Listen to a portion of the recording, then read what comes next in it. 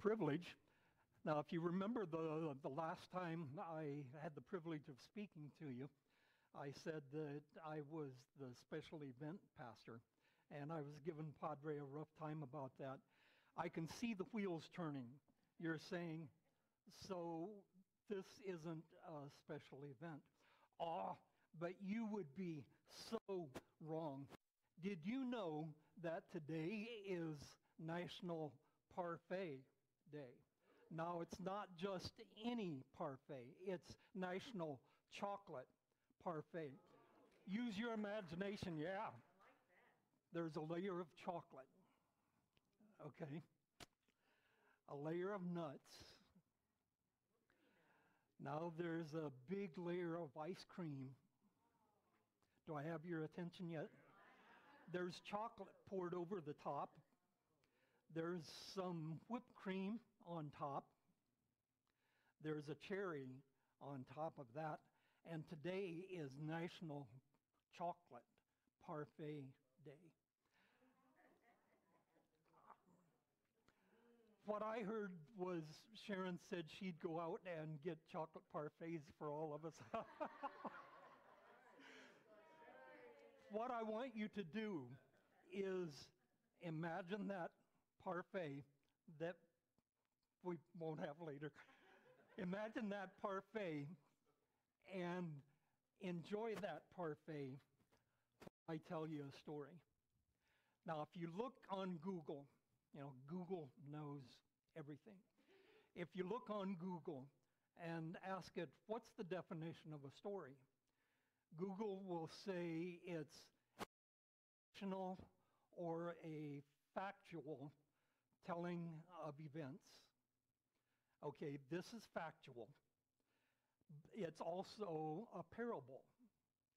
Uh, so if you ask Google the definition of a parable, Google will say it's a story. Well, we've already been there. Story that has a biblical or meaning. So let me tell you a story. Okay, back up the time, years and years. I'm a teenager. Okay, I lived in a small town, not much bigger than Oak Hill. And we went to a church about 20 miles away. This church was surrounded by multiple little towns.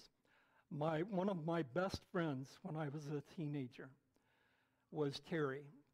I loved going home with Terry after church on Sunday because, well, Terry was fun, but his mom, uh, let me tell you, that woman for Sunday dinner would have roast beef with gravy, mashed potatoes that she mashed, and green beans, and corn on the cob. Do I have your attention? Oh, I'll tell you what, Jane was a cook. She loved to cook, and she loved to put her best out for company. And the house was always full. Uh, Terry had a brother and a sister, and they always had company. And somebody would be bound to say, uh, Jane, this is so good. And Jane would say, eh, it's not much. And it's not fancy. But what I have is yours. And she would then go on to dessert. We haven't even touched dessert yet. Okay, for dessert, are you ready, Dale? We've got homemade hot apple pie. Uh, ice cream that Jane and Mel, her husband, would have made last night and put it in the freezer. And it's, it's not the weak kind of ice cream, it's the kind of ice cream. And again, Jane's response would be, I don't have much, and it's not fancy. But What I have is yours. You're welcome to it. Okay, that was that was Jane's pattern week after week after week. And it, it wouldn't matter what the recipe was or what was on the menu for the day. It could be roast beef. It could be steaks. It could be ham from a, a pig that they had just butchered. It could be, I heard somebody mention fried chicken today. It could be fried chicken, and that chicken was guaranteed to be fresh. It wasn't in the store for a week, it was from their farm.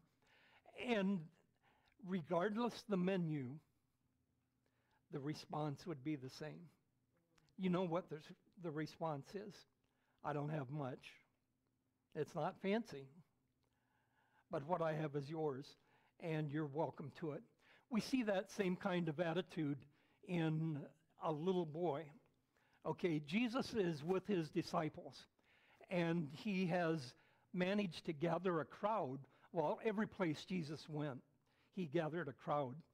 And you look out over the hillside, and there's people everywhere. And someone says, um, they're, they're hungry. And Jesus' response was, if they're hungry, feed them. Okay, you got to love Philip. Philip is quick with the answers. And he says, um, Jesus, um, I hate to be the one to say this. Have you looked at this crowd? Um, they're kind of like you, they're kind of scary at times. And Philip says, um, there's, there's a lot of people here. He said, um, I haven't counted, but it seems to me like there's four or 5,000 people. There's or four or 5,000 men, and then all of these men brought their families. Lord, there's 10, 12, 13, 14,000 people. It would take it would take three fourths of a year's wage just to buy him a nibble. And Jesus says, well, What have you got? Okay, use your imagination. This is Doug's unauthorized version, okay? So here's this little boy, eight or so. Now, when this boy left home earlier that morning, Mama said, I'm going to pack a lunch for you, but don't do like you usually do and give it to somebody else. This is for you. Okay, so here's the crowd. And here's the little boy. He hears everything that's going on. And I can see him running up to Jesus and say, Hey, Mr. Jesus. He's tugging on his rope. And he says, Mr. Jesus, Mr. Jesus, I got a little bit of lunch. It's not much, not fancy, but it's yours. Use it. So we know the story. Jesus took the lunch. What happened? Fed how many? Oh, at least. And there's another part. So what's the next part? He took up what was left over. Now, the little boy had a couple of fish and a little bit of bread. Okay, for 15,000 people, 10,000, whatever. Jesus takes up, or the disciples take up 12 baskets of leftovers. Wow. More leftovers than they started with. How does that? Only because God performed a miracle. Okay, we see the same kind of attitude. I told you, you guys are scary. I'm nervous. You see the same kind of attitude in Jesus when he was on the cross. He has been beaten, bloodied,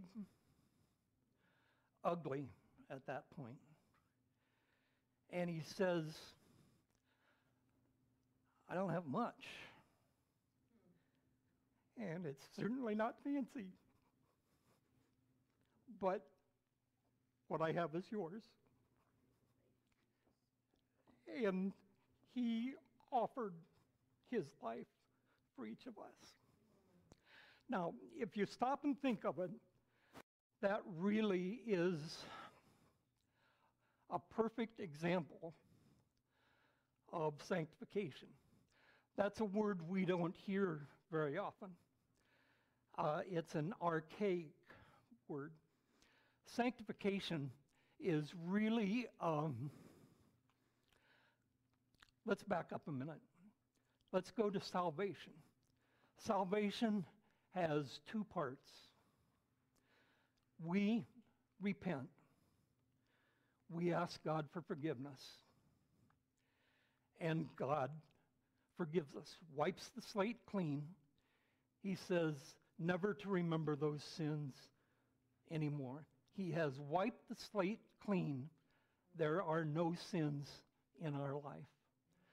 Okay, sanctification then comes from the second thing that God does for us. And again, it has two parts. My part is a complete commitment that says, I don't have much, and it's not fancy, but what I have is yours, and you're welcome to it. Okay, God's part of that is that He takes that committed life and uses it, cleanses it, fills it with His Holy Spirit, and then uses it for His good, for His glory. Okay, think of it for a minute. I know it's scary to say I give up myself. I commit myself totally to God. Think of it this way I give up, I give God all of me. He gives me all of Him. That's a pretty good trade. So let me ask you this, and you'll be, you'll be glad that this is the shortest sermon you've ever heard. let me ask you this what do you have in your hand today? Let me ask that just a little bit different.